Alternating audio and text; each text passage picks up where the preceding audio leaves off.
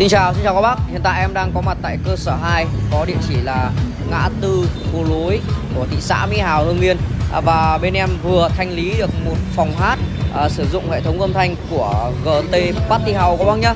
Ở đây thì là cả một phòng, à, một phòng karaoke chủ đầu tư cũng đã lắp bên em một thời gian rồi và do phòng cháy chữa cháy không đủ giấy phép và ở đây thì à, sử dụng là súp hơi 50 GT Party MF818B à, đây là một con súp hơi 50 và ờ, uh, 4 cặp full 4 cặp full ờ, uh, 30 của GT uh, ờ, Party House có model là AK12 các bác nhá. Cả TV này đầu màn cả tủ máy đầy đủ hết. Các bác nào các bác nào mà săn những cái dòng loa mà chuyên đi lắp phòng hát cũng như là các uh, cặp loa mà rất là chất lượng.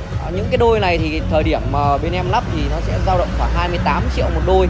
Và bây giờ bên em thanh lý lại à, giá cũng vô cùng tốt. Giá bây giờ nếu mà em ờ, lau chùi dọn dẹp đi thì giá nó sẽ dao động khoảng tầm độ trên dưới 10 triệu một cặp. À, và đây là cửa hàng uh, ở cơ sở 2 của bên em. Đấy bên em thì chuyên là những cái dòng karaoke cao cấp và bình dân cũng có nhưng mà bên em tập trung vào những cái dòng phân khúc là loa karaoke à, gia đình và loa làm dự án.